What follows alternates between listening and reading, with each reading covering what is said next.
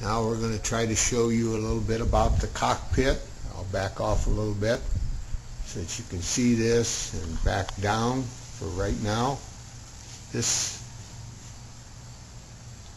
has a sliding canopy with a control or with a slide in the back and one on each side.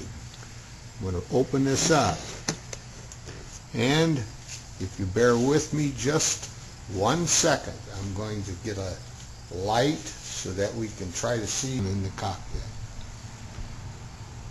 There we go. Yeah, you can see a little bit of the equipment in there. There's the bomb sight. Over on the side there are controls. I think you can probably see the instruments. And you can see the pilot's got his hand out trying to get a hold. I'll shut this off. Back off again. of course this could be on a mechanism which would open and close it automatically. I elected not to do that because it would add weight.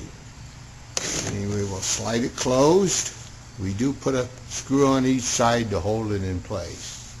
Is where the gas filler was on the uh, fuel tank which was in the fuel fuselage. And I don't know whether you can read that. It says uh, suitable for aromatic fuels in red letters. And right next to it is the ground where you put the ground wire. I'll back off a little bit more.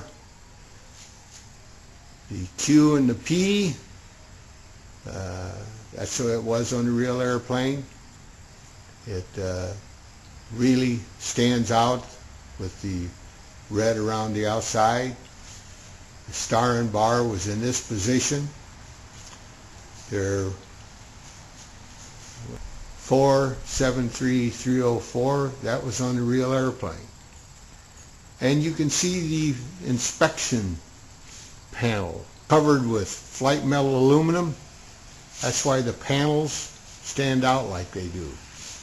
I'm going to back up and try to show you the entire airplane in one view. And I hope it comes in as good as I can see it. This is the first time that I've used uh, this camera. And it appears that it's coming in fairly well. I hope it comes in as well as I think it does. So with that underneath where the wing fastens into place, you can see the air scoop, which is a functional air scoop, and you'll see that in a future video which I hope to take, which air comes in the front of that air scoop. That was for the radiator and the oil cooler on the real airplane, and it comes out the back. You can see the opening in the back. That's where the tune pipe exhaust comes out.